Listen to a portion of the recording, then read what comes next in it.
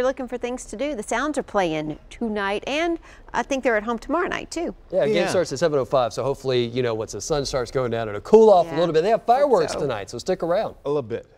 Uh, we're still much. looking around 89, 90 at, at that first Mm. pitch with a heat index around uh, 99 to 100. So still stay hydrated if you're out and about. Also tomorrow morning over at uh, Tennessee State University, the Cremona Strings. They are a group, a lot of young musicians who get few free music lessons. They've got their summer recital that is tomorrow over at the Tennessee State Performing Arts Center on the campus of TSU. That is going to be tomorrow from 10 a.m. So free parking and great music for the family. A good way to ease into the music uh, summer uh, there and the weekend with some great music.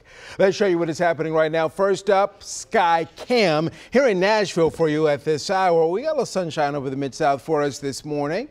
As we go through the day, that sunshine will allow temperatures to heat up very quickly today. As we go into the afternoon, 95, we see our weather kid. This is Bailey Miller showing 95 for today. Take a look at the heat advisories and look at how much of the country baking in the heat. Those advisories go from Mississippi back out into Texas, part of the Four Corner states, Great Lakes area, and then back up toward New England, New York City with a, a heat warning that is out for today. For us, heat warnings or heat advisories from just west of the plateau through Nashville, down I 40, down into the Memphis area. Over at Kentucky, excessive heat warnings are out through Sunday. So, again, through Sunday here, right now, this is out for today over the Mid South. We'll see later if that might be extended into Saturday.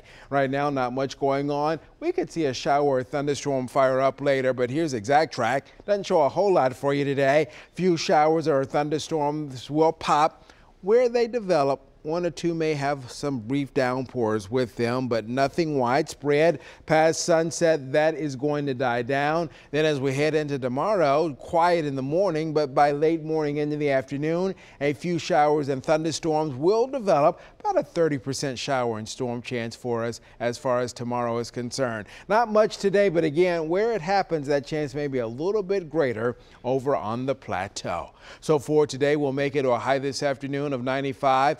The rest of our seven days showing 94 tomorrow. On Sunday, right around 92. Now, as we go into next week, higher rain chance with a front on Monday, not as humid Tuesday and Wednesday.